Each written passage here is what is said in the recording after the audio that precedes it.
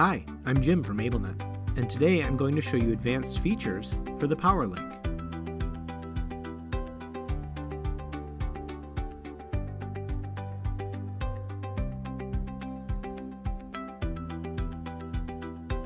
The direct mode keeps the appliance on only while the switch is activated.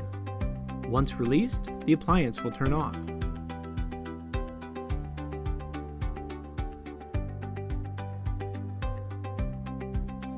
Count mode behaves like direct mode. However, in count mode, the number of activations is shown on the display counter. When used with two switches, the display counter will reflect whichever side was most recently activated. To view either side's number of activations, press the corresponding status button. To reset the counter back to zero, press and release the left and right buttons simultaneously.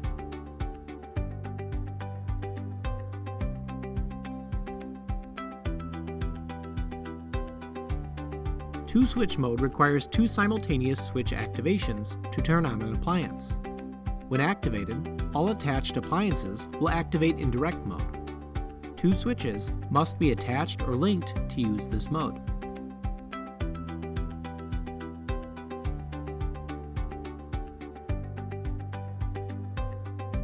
The timed seconds mode allows the appliance to run for a preset amount of time, from 1 to 99 seconds, with a single activation. Set the desired number of seconds with the up and down arrows. To quickly move through the numbers, press and hold.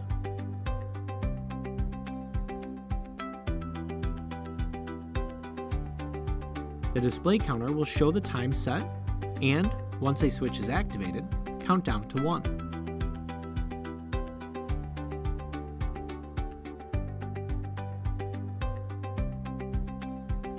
Press the up or down arrow during activation to adjust the amount of time remaining.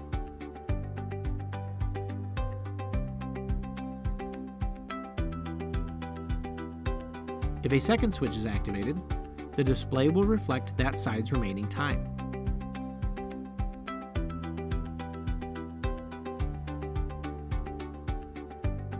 Press either status button to view the time remaining for that side. If you do not want to wait for the set time to expire, press the Mode button to select any other mode of control. The attached appliances will shut off. Timed minutes mode behaves exactly like the timed seconds mode, but using minutes rather than seconds.